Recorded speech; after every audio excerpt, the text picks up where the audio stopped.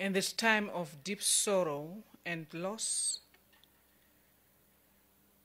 I want to extend my heartfelt condolences to each and every one of you. The passing of our president has left a void that is difficult to comprehend. And I understand the weight of grief that we all carry in our hearts. But in the midst of this darkness, I want to offer words of encouragement and strength as your minister. And like a mother consoling her children when the head of the house, when the head of the state house, when the head of the Namibian house has gone to rest. Our president was a visionary leader who believed in the power of unity, progress, and the potential of our great nation. He entrusted us at the presidency with the responsibility of serving the people of Namibia.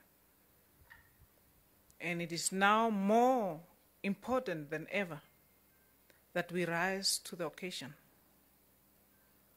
We must remember that our work is not just a job, but it is a calling to serve our fellow citizens and uphold the values that our arrested president held dear. Let us therefore draw inspiration from his unwavering dedication and commitment to the betterment of our nation. And let it fuel our resolve to continue his legacy. In times like this, it is natural to feel overwhelmed and uncertain about the future. But I want to assure you that we are not alone. We have each other, a strong and resilient team that can weather any storm. Together we can navigate through this difficult time and emerge stronger on the other side. Let us lean on one another for support, offering a helping hand and a listening ear to those who need it the most. Let us honor our President's memory by continuing to work with passion, integrity, and a deep sense of purpose. Let us strive to make a positive impact in the lives of our fellow citizens, just as our President did. Colleagues, remember, we are part of something greater than ourselves. We are part of a legacy that stretches beyond this moment. And it is up to us to carry it forward. Our President's vision, his dreams for our nation, are now in our hands. Together we can honor his memory and build a brighter future for Namibia. Let us find strength in unity, hope in the face of adversity, and inspiration in the legacy of our beloved President. As we light these candles tonight, let their flames symbolize the eternal spirit of our President, guiding us through the darkness and inspiring us to carry on his vision. Let it remain, remind us of the power of unity, compassion, and hope. In conclusion, colleagues, the President performed his mandate with a sense of purpose, with a sense of mission, and with a sense of agency. Agency, especially during the past few years.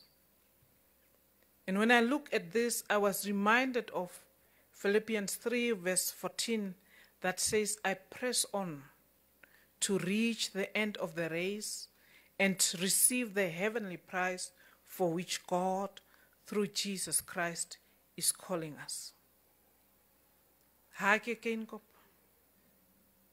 His was not to finish a term, but to complete the race that was set before him. For his race was not tied to a political term of office. He has finished in a sterling fashion and bowed out honorably. Now he went to sleep and rested from the toils of this world. Team Presidency, thank you. Thank you for your unwavering commitment and dedication to the cause that our rested President championed for economic development and prosperity for all, where no one should feel left out. Good governance and delivery of effective and efficient service to the people of Namibia.